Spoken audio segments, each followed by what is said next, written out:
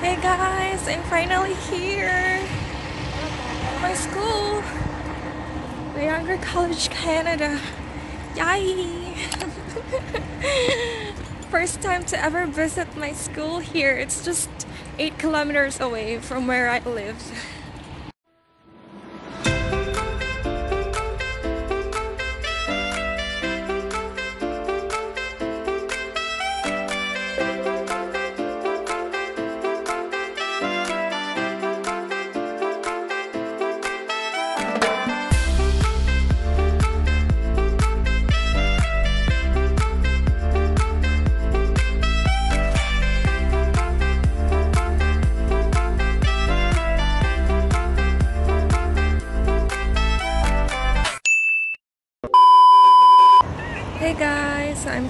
Waiting for the bus to arrive. I'm going to my school for the first time ever.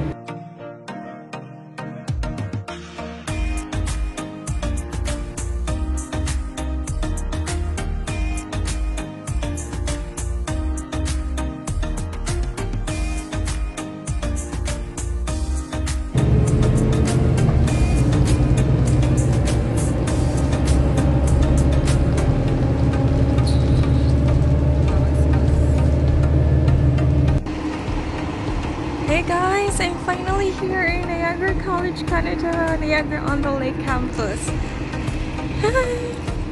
Finally got to visit my school. I'm finally here. My school.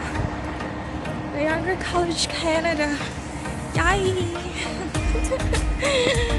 First time to ever visit my school here. It's just 8 kilometers away from where I live.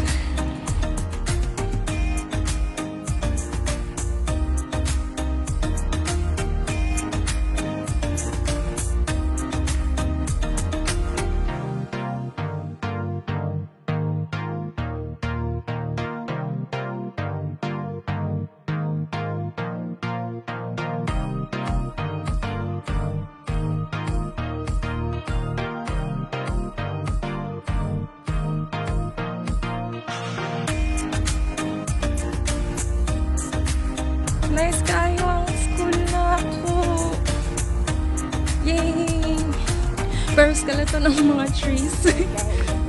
Oo. Uh-uh. Wow.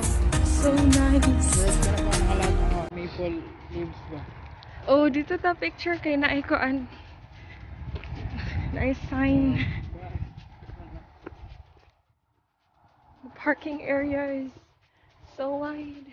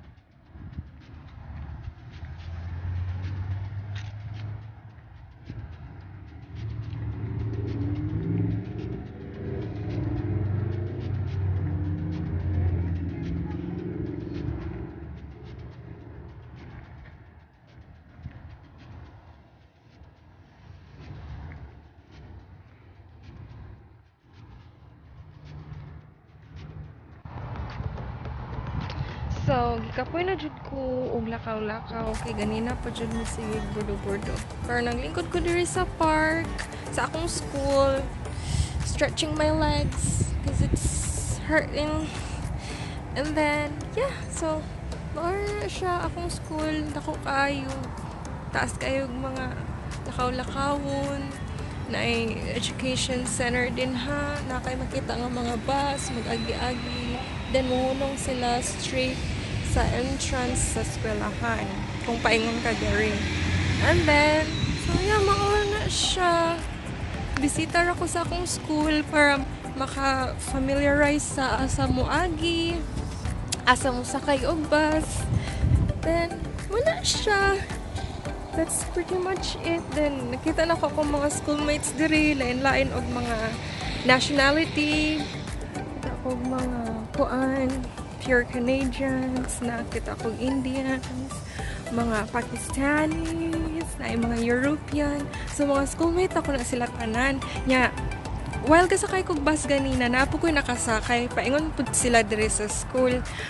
Then, napoy mga kuan oh, na maglakaw basig mo na siya na-dismiss na siya so pag naog mo diri sa entrance sa school tagan ka makita nga mga student. Kana sila mga schoolmates na kana sila. Kaya amo ang school start pa man sa January. January intake man ko. Then kani sila nga naa diri karon mga fall intake. Or mga summer nga wala pa kahuman until now schooling ragyapon inana ba?